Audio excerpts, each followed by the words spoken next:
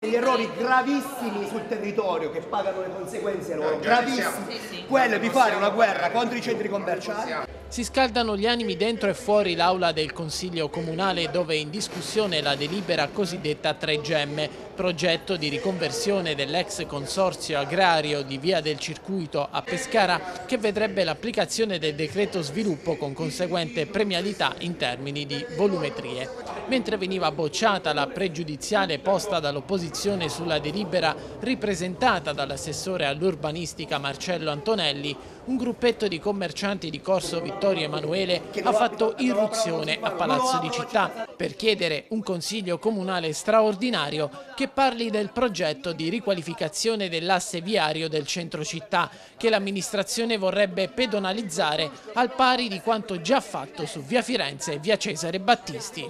È arrivata il Consiglio Comunale una nutrita delegazione di commercianti in rappresentanza delle oltre 140 commercianti che hanno già firmato una petizione contro questa eh, ventilata chiusura, pedonalizzazione, eh, riqualificazione di Corso Vittorio Emanuele. E questo perché?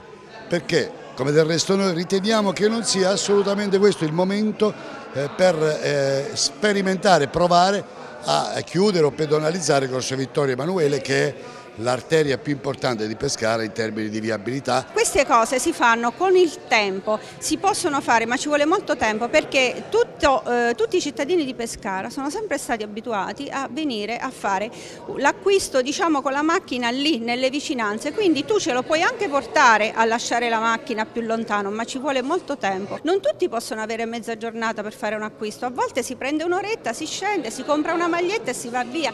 Toglie, toglierci questo vuol dire veramente veramente alla fine già siamo in grande sofferenza, in grandissima sofferenza.